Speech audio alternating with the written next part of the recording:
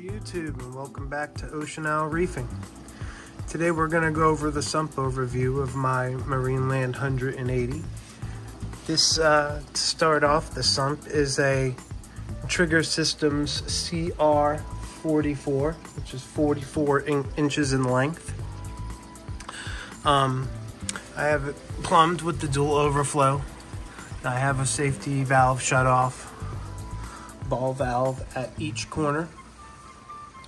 Um, one goes with the return line in and the other comes with the drain down.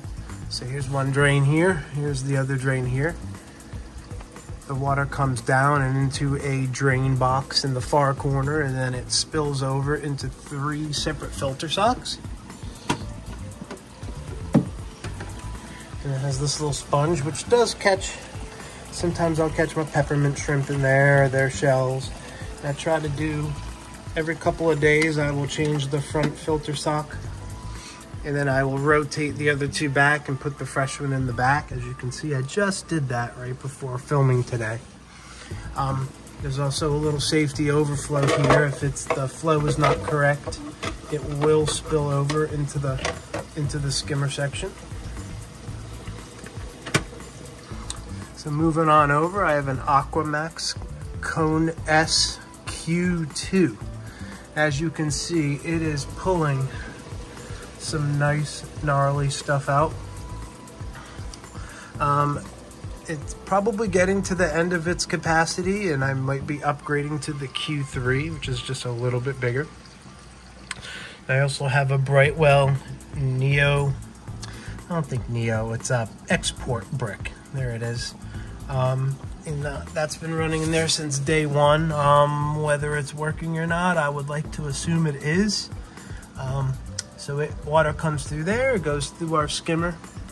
And here, this is our center chamber. It was a refugium. Uh, I gave up on the refugium. The refugium made nothing but a mess here in this chamber. Um, so I switched over to dosing another product, which we'll get to when we get down the line. So as of right now, all I have in here is two 300 watt titanium heaters and it is controlled by an Inkbird and just uh, some rock, um, extra rock I had and it's just in there with some ceramic rings. I also have over here a manifold. One is empty to be determined what's going in here and this is running a mixture of the BRS ROX Rocks Carbon with a very little bit amount of GFO. The standard, not the high capacity. I change that out about every two weeks. Um, and it, it does a good job uh, with the other product I dose as well. The other product I do dose every morning is the Red Sea Nopox. Um, depending on what my nitrates are reading, I will dose anywhere from uh, 5 to 15 milliliters. So if it's above 10 or 9 or 10, I will dose about, you know, somewhere but you know, between 10 and 15. If it starts, my nitrates start to get low, I will reduce that dosage depending on the test. So then we come into our spillover chamber here. This has an adjustable, adjustable height here. Um, the skimmer likes of eight to nine inches and the water level is set just at eight and a half inches. And then in here I have the Maxspect Jump and I believe it's the 12K up to 2,500 gallons per hour. Um, so that goes up and it tees off right up here. Here we go. It tees off right up here and it goes left and right to go to the return section up as well as the manifold. And the, the flow is plenty strong enough. Um, it is pouring out pretty good. Um, and that valve is just about cracked. Um, so there's definitely plenty of power. I have that set at number five of 10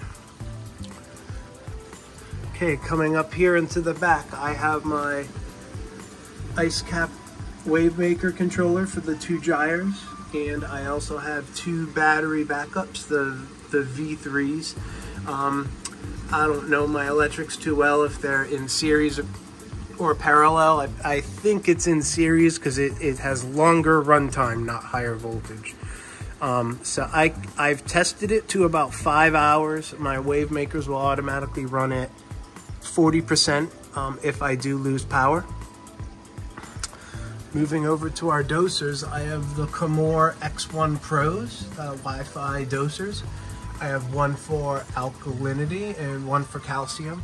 And then I have some fancy dancy dosing containers. You know, top of the line here at Ocean Isle Reefing. You know, a couple gallon containers. Um, it gets the job done. Um, currently, I'm not dosing too much because the corals are just starting to grow in. I think I'm at 15 milliliters of alk and calcium's maybe about five. Um, my last test was 8.7 alkalinity and 450 on the calcium. So that is just a standard power strip. But this power strip up here in the black is what the only thing I have to switch off when I'm doing a water change. Um, I switch off that their red button to the off and it kills my heat and it kills my return pump and it kills my ATO.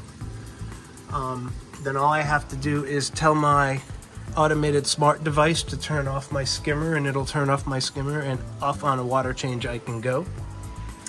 This is also a Bluetooth power strip here. And this is power strip I have all of my lights plugged into.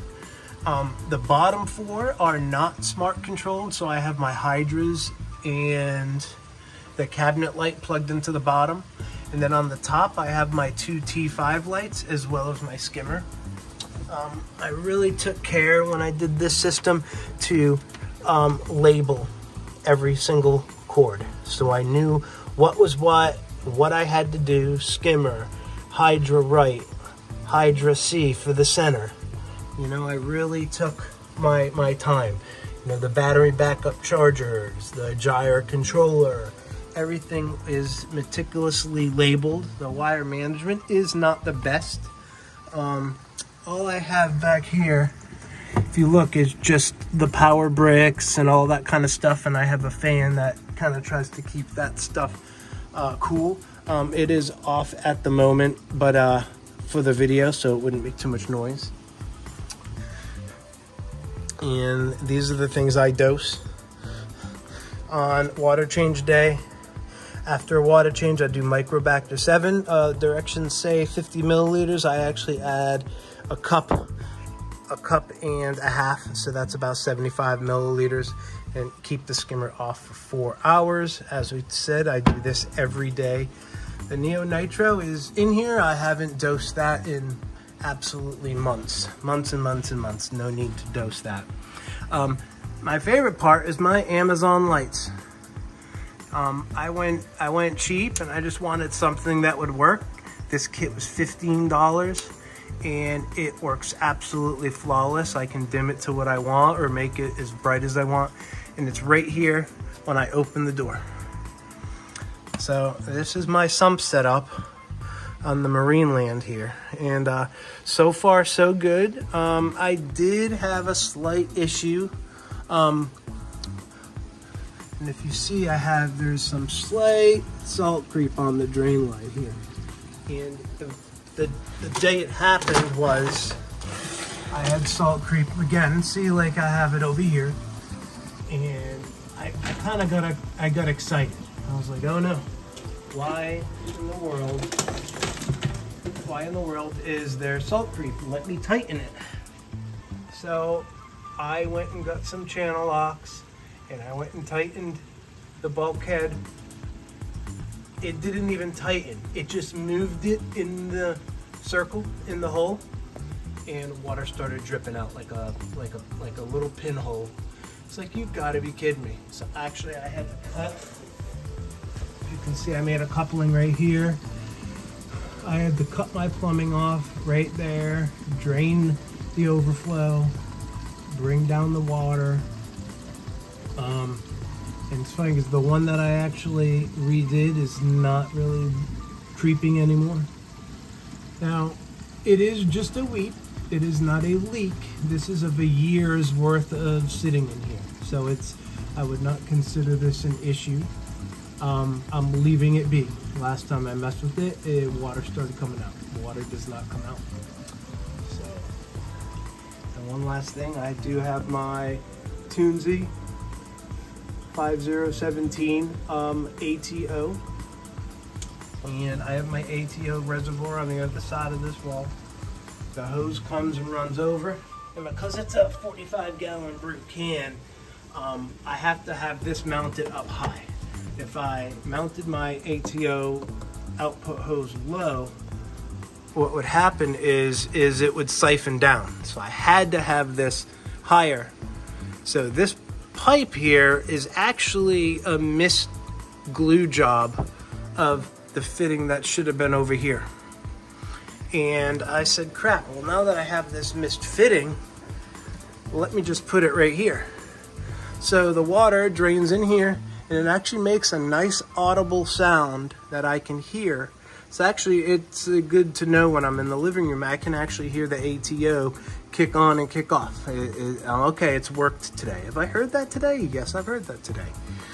So this is my basic overview of the sump at Ocean Isle Reefing. Guys, any, any questions, just put them down in the comments.